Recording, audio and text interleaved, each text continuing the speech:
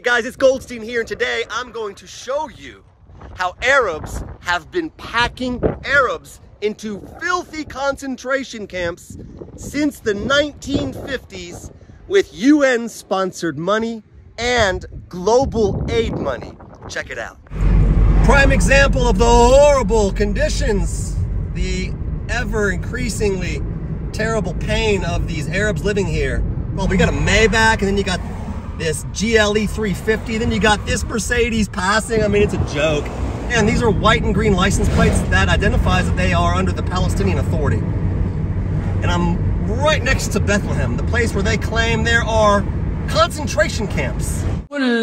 مدينة في فلسطين من رفح لجنين فيها أوشفيتس إسرائيلي لذبح الفلسطينيين These are the only people in the world who still keep their own people in concentration camps just to raise more money through the UN. And by that I mean what they call refugee camps. Sit back, relax, and enjoy the propaganda. I was shown around by British born Palestinian Nancy Mansour. In 1935, her great grandfather was shot in the head by Jewish settlers when they seized his home. She took me through the dense maze of warehoused refugees.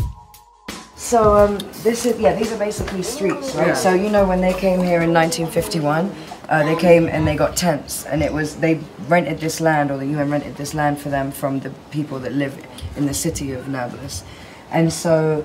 Uh, a couple of years later, the UN come and give them two stone houses per family, and so as you can see, it just gets more and more dense and overpopulated. And I think actually the, the the exact number is 28,000 refugees. So this is the biggest refugee camp, and it's literally one kilometer by one kilometer. Now, how you can be a refugee of a state that never existed, I don't know. But they have figured it out, they have mastered it, and then they have packaged it and turned it in to the greatest scam in business. It's genius. More than 2.2 million Palestinians are refugees in their own country, blocked in violation of international law from returning to the land they live just miles away from, packed into camps. Let's hear that one again. Packed into camps. These camps experience the highest rates of poverty and unemployment. So when she says packed into camps, Packed into camps.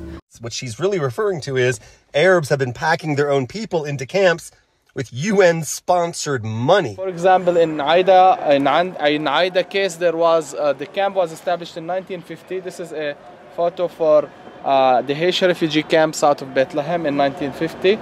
Uh, this uh, this camp has started in 1950 under the supervision of UNRWA. Understand, that means these Arabs have been putting their own people inside of filthy concentration camps since the 1950s. They have been propagating that even after the Oslo Accords when they took full control over the area you're seeing right now. There's not one Jew left inside. It's Judenrein. And the Palestinian Authority, and I use that term very loosely, controls over 40% of all of the land in Judea and Samaria, and they've received over 60 billion dollars in funding since the disaster of Oslo itself. This is a criminal act that the leaders of the PLO should be held accountable for in the International Criminal Court today. Here, let's all go into Bethlehem where there is an actual refugee camp where they claim that their people live in squalor and in terrible conditions. Let's watch as these two very expensive Mercedes that cost at least double here, just, you know, mosey on in. But wait, there's more propaganda.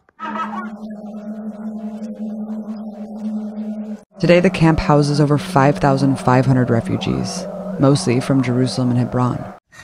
Jerusalem and Hebron are as Arabic as is the word Palestine. who are packed into an area less than 0.04 square miles. What a load of crap.